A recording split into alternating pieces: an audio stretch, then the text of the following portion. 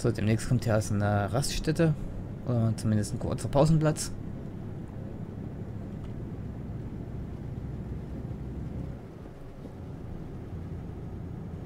Auch noch eine Tankstelle, also 1,72 Euro hat es für andere eine Tankstelle gekostet.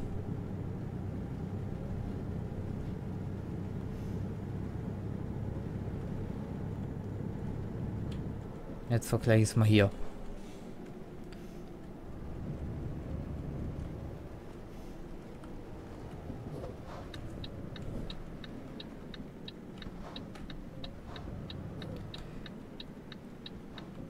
Ich bezweifle aber, dass es hier günstiger ist.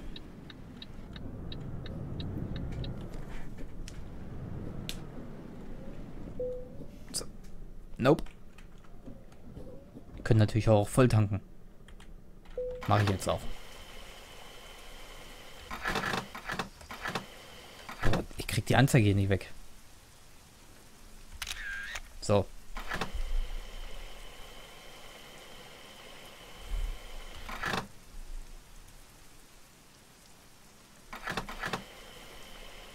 Mal sehen, wie viel ich hier bezahlen werde. 500 Euro, 600, 700, 800, 900, 1000, 1500? Ja. 1533 Euro. Für nicht einmal 900 Liter Sprit.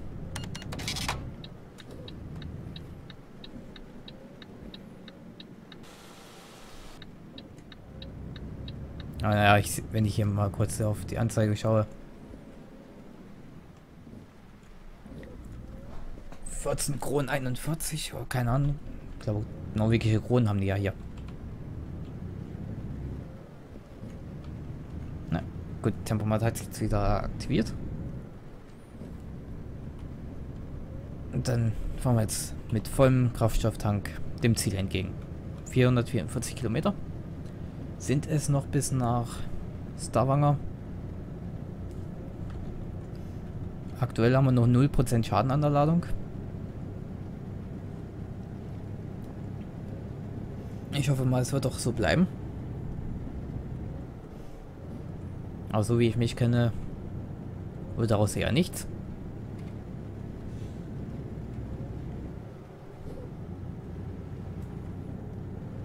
Zumindest wenn ich meine Fahrkünste so einschätze.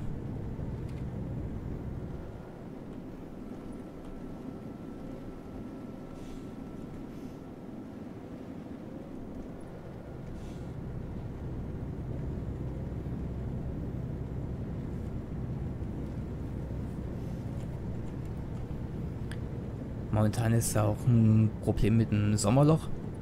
Ich nenne es jetzt mal Sommerloch. Halt an zum Beispiel Spielen, die ich let's playen könnte. Die mir halt auch zusagen, wohlgemerkt.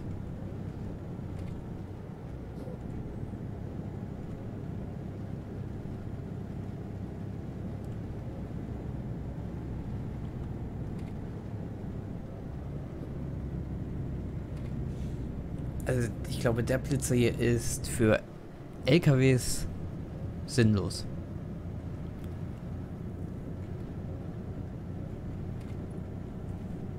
Weil wenn man hier hochkommt, diese Steigung, die, wo ich jetzt gerade erst mit 50 km/h hoch und ich habe hier die 625 PS Maschine drin, wenn ich jetzt daran denke mit dem Iveco, da hat er noch eine kleinere Maschine drin. Oh, das hieße zweiter Gang und Vollgas hoch.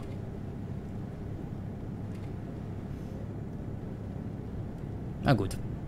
Wenn ich hier mit dem Iveco fahre, dann sowieso nur im Flachlandbereich und nicht hier mitten durch skandinavische Berglandschaften, geformt durch Eiszeiten.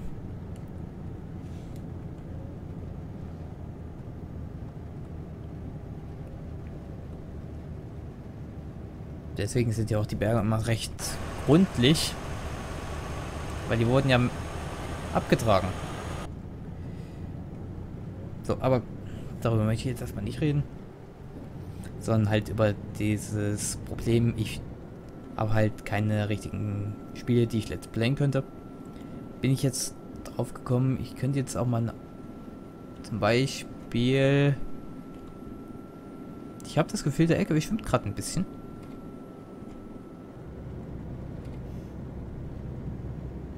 Jetzt sind 2000 Leute online, aber keiner, der mir irgendwie entgegenkommt.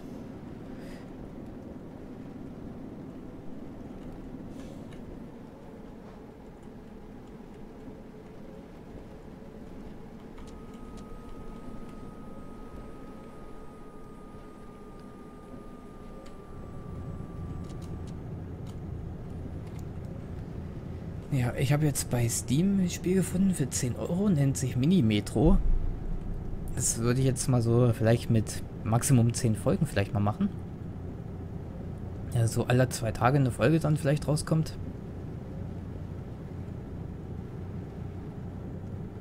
Es ist jetzt so ein bisschen bei mir so ein in Gedanken, ob ich das nun auch mache. Das werde ich dann noch sehen. Also WOWS werde ich demnächst wieder aufnehmen. Um sie weiß ich jetzt nicht genau, weil da nehme ich eigentlich immer einem Stück auf. Wollen die mal nicht zu schnell fahren? Und ansonsten... Tja, ist halt nicht so viel. Also momentan ist halt nicht gerade sehr viel los und also LS 17 wurde ja angekündigt. 25. Oktober, wenn ich das richtig in Erinnerung habe.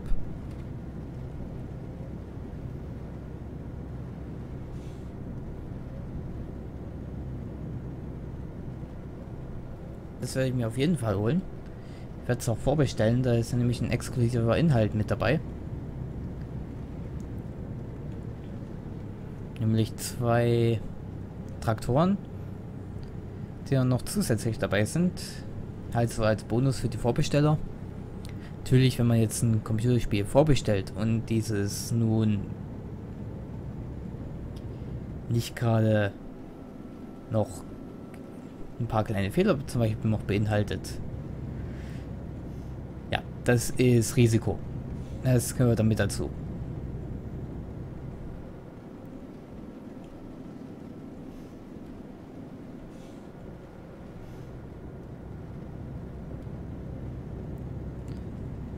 Das gehört dann, ich würde es mal so als ja, Risikofaktor mit einbeziehen.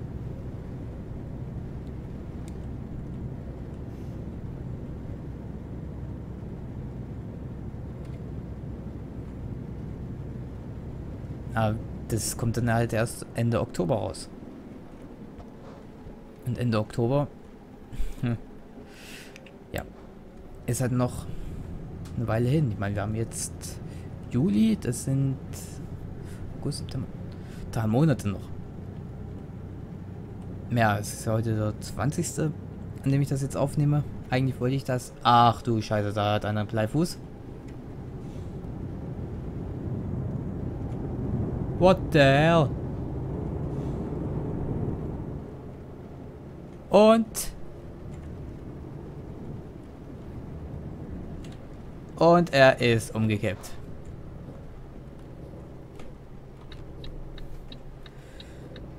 Google mal Selbstüberschätzung, Kollege.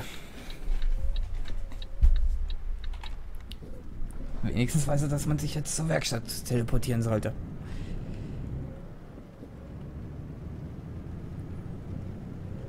Verdammt, das hätte ich als Thumbnail-Vorlage nehmen können.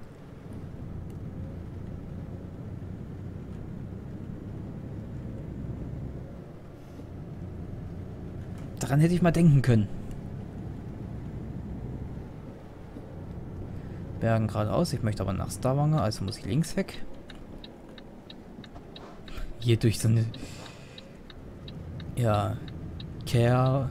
Also Kehre durchzufahren, das dürften doch mindestens 280, wenn nicht sogar 300 Grad sein. Nur um dann an Höhe zu gewinnen. Aber das sah gerade so geil aus. Fährt, fährt Schlängelinie und kippt um. Irgendwie war das zu erwarten.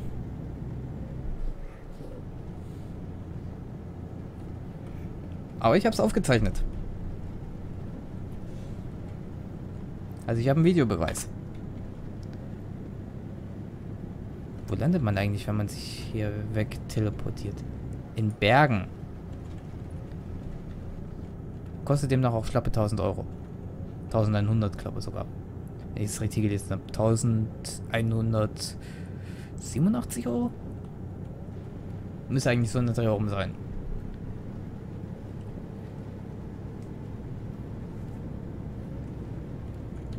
Und damit ich den gleichen Fehler wie den dieser Fahrer nicht mache, verlangsame ich natürlich auch immer ein bisschen in den Kurven. Weil so wie der gerade mich versucht hat, da zu überholen. Okay, keine Musik über CB-Funk. Würde ich auch nicht machen.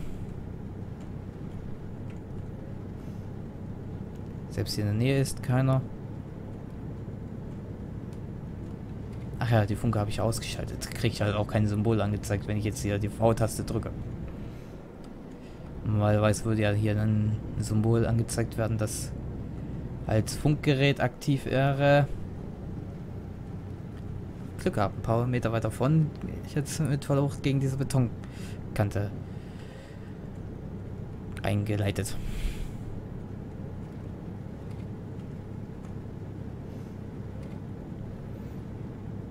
Aber ich möchte nicht hier auf der Seite landen.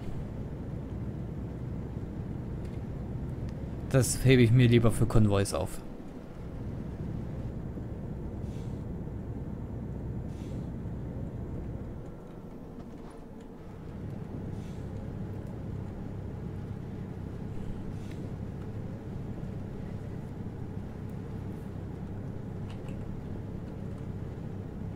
Und zumal auf den 185 Kilometern, die wir jetzt noch vor uns haben, da ist das noch ein bisschen, ja, unangebracht. Auch wenn mein LKW ja ab und zu mal ein bisschen hin und her schlingert.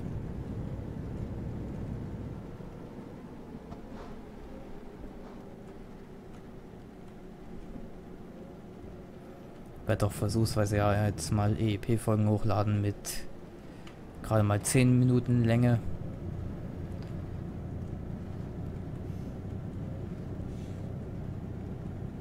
Vielleicht schaffe ich es ja dadurch.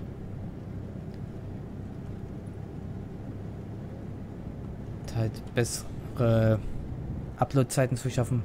Solange das halt nicht mit, sagen hier keine bessere Internetleitung verlegt wird. Und ich glaube, es wäre sogar möglich, eine bessere Internetleitung zu wesentlich günstigeren Kosten zu bekommen vergleichsweise guten Konditionen, wohlgemerkt.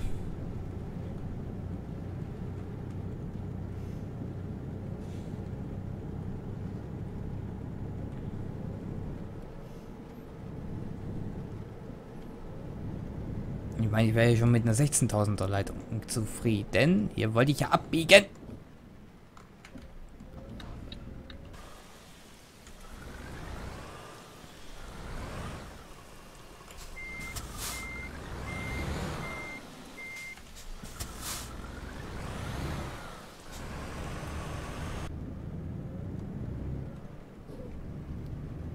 Wow.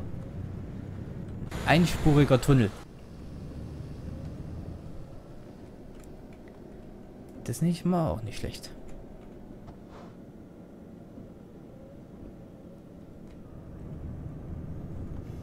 Ich glaube, ich fahre hier gerade in irgendwie ein Bergwerk oder sowas ein. So kommt mir das gerade vor. Scheibenwischer kann ich mal ausmachen.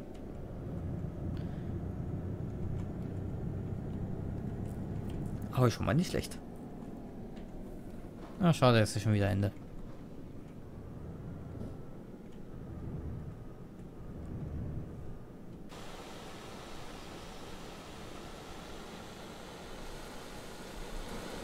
Ich glaube, ich bin hier mitten an einem Fjord.